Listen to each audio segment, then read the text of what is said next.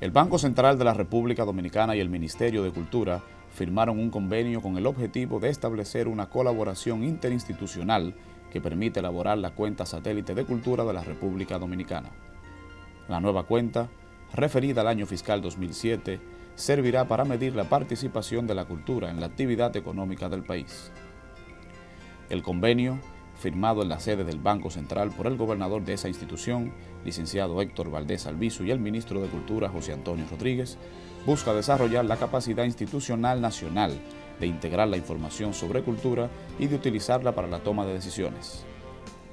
Este convenio también persigue que la nueva cuenta funcione como una extensión del sistema de cuentas nacionales que reúna, en un marco contable coherente, el conjunto de flujos económicos relacionados a la cultura.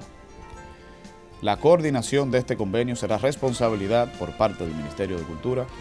de la Dirección General Técnica bajo la supervisión del Viceministerio de Desarrollo Institucional y por parte del Banco Central, del Departamento de Cuentas Nacionales y Estadísticas Económicas.